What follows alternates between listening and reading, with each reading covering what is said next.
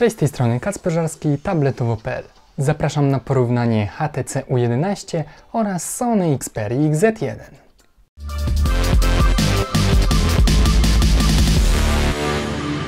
Zacznijmy od obudowy. Oba smartfony są całkowicie z różnych światów. No może dobra, przesadziłem trochę, ponieważ łączy je na pewno to, że nie mamy tutaj zbyt wąskich ramek wokół wyświetlacza oraz nie mamy tych popularnych proporcji 18 na 9.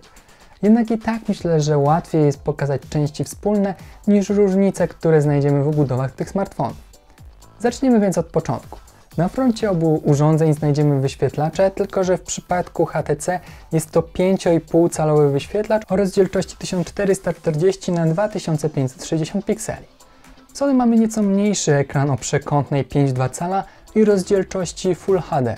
Na tyle mamy aparaty główne, o których powiem za chwilę.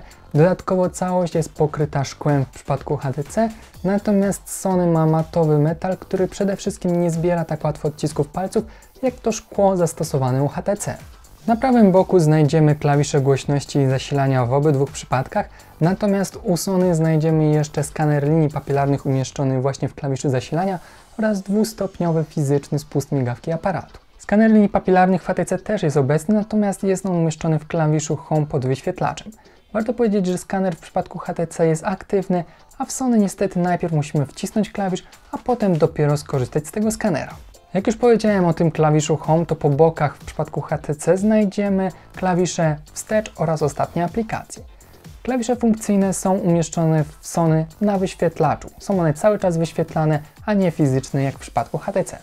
Patrząc na Sony na lewą krawędź znajdziemy tackę na kartę SIM i microSD, a w HTC jest ona umieszczona od góry.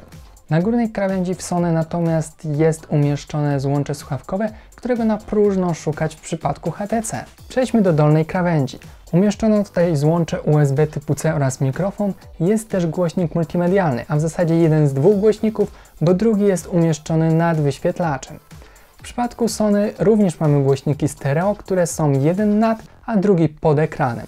Na dolnej krawędzi natomiast jest jeszcze złącze USB typu C, a także mikrofon. Warto powiedzieć, że oba smartfony mają wodoszczelną obudowę i gwarantuje to certyfikat IP65 na 68 w przypadku Sony, natomiast HTC ma certyfikat IP67. Przejdźmy do systemu w tych smartfonach. W HTC U11 mamy system operacyjny Android w wersji 7.1 Nougat.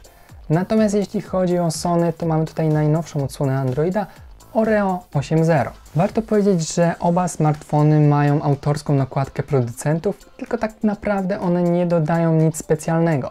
Tych dodatków jest tutaj jak na lekarstwo i głównymi dodatkami w przypadku Sony to jest skanowanie 3D oraz efekt AR, a także tryb bardzo zwolnionego tempa.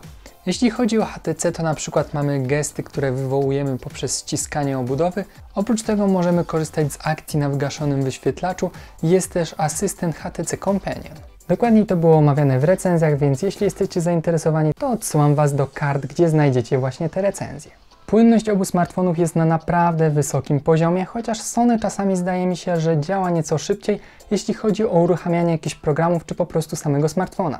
Jeśli chodzi o podzespoły, to oba smartfony mają Snapdragona 835, mamy układ graficzny Adreno 540 oraz 4 GB RAM i 64 GB na nasze pliki. Z obu smartfonów korzysta się bardzo komfortowo i na co dzień naprawdę nie ma im co zarzucić. Kilka słów o akumulatorze. HTC U11 został wyposażony w akumulator o pojemności 3000 mAh, co przekłada się na realny czas pracy na poziomie 5,5 nawet do 6 godzin na wyświetlaczu w trybie mieszanym. W takim samym trybie Sony Xperia XZ1 działa nieco krócej, ponieważ 4,5 do 5 godzin. Jest to też na pewno spowodowane tym, że mamy nieco gorszą baterię umieszczoną w tym urządzeniu, ponieważ ma ona pojemność 2700 mAh. Przejdźmy do aparatów. W Sony Xperia XZ1 znajdziemy aparat o rozdzielczości 19 megapikseli z przysłoną 2.0. HTC ma mniej, ponieważ tylko 12 megapikseli, natomiast przysłona jest dużo jaśniejsza i ma wartość 1.7. Warto też wspomnieć, że U11 ma optyczną stabilizację obrazu, a także dwutonową diodę LED, a w Sony jest tylko jedna dioda. Co do jakości zdjęć, to HTC U11 zdaje się wykonywać lepsze fotografie. Są najbardziej szczegółowe, z naturalnymi kolorami oraz mniejszą ilością szumów. Aparat lepiej radzi sobie również z wykonywaniem zdjęć w ciemności, ponieważ są one mniej zaszumione i wyraźniejsze. Pod światło również możemy wykonać nieco ładniejsze fotografie, ponieważ Sony nieco rozmazuje te światła, a całość wychodzi troszeczkę za jasna i z widocznym ziarnem. HTC również radzi sobie lepiej z wyostrzaniem małych elementów, ponieważ w Sony czasami to po prostu trwa długo, zanim uda nam się wyostrzyć interesujący nas obiekt. Dodatkowo w HTC możemy uzyskać ładniejszy efekt rozmazania tła, co naprawdę fajnie wygląda. Jedynie czasem zdaje mi się, że Xperia ma nieco cieplejsze, żywsze kolory, ale też nie przy każdym zdjęciu aż tak to widać. Na froncie znajdziemy kamerki frontowe, które mają 13 megapikseli w Sony oraz 16 megapikseli w HTC. Warto dodać, że w obydwu przypadkach mamy przysłonę wartości 2.0. A jak to sprawdza się w praktyce? Trzeba powiedzieć, że zdjęcia w HTC charakteryzują się większą szczegółowością, dodatkowo ładnie odzwierciedlone są kolory i rysy twarzy. Natomiast Sony na pewno trzeba powiedzieć, że inne kolory, szczególnie zieleń jest dużo żywsza i mam też wrażenie, że Xperia ma minimalnie szerszy kąt widzenia. A jak te smartfony radzą sobie z nagrywaniem? Właśnie w taki sposób. Możecie teraz zobaczyć obraz z HTC U11, a także z Sony Xperia Z1.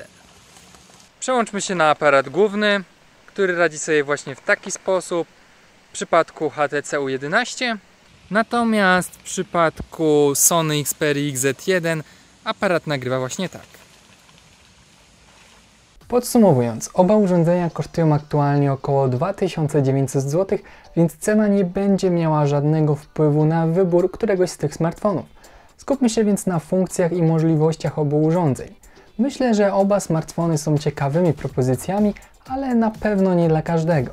Jeśli szukacie smartfona z najnowszą wersją Androida, bardzo szybkim systemem, dobrymi aparatami oraz metalową obudową, to na pewno Sony Xperia XZ1 może być ciekawym wyborem. Jeśli szukacie jednak smartfona, który będzie miał szklaną budowę, nieco lepsze aparaty i bardziej wydajny akumulator, natomiast możecie przymknąć oko na nieco starszą wersję systemu oraz brak złącza słuchawkowego, to myślę, że HTC U11 będzie lepszym wyborem. Jedno jest natomiast jak dla mnie pewne, te smartfony nie będą wyróżniały się na tle konkurencji pod względem wyglądu. Jeżeli Wam nie zależy jednak na wąskich ramkach wokół wyświetlacza, na proporcjach 18 na 9, to te smartfony mogą być naprawdę ciekawymi propozycjami. Szczególnie, że mamy do dyspozycji bardzo mocne podzespoły, które przekładają się na płynną i komfortową pracę z tymi urządzeniami. Jak dla mnie wybór z tych dwóch smartfonów jest taki, że HTC U11 może być lepszą propozycją, a to wszystko za sprawą tych lepszych aparatów i bardziej wydajnego akumulatora. Dajcie znać w komentarzach natomiast, który smartfon Wy byście wybrali. Dzięki za oglądanie i do zobaczenia w kolejnych materiałach. Cześć!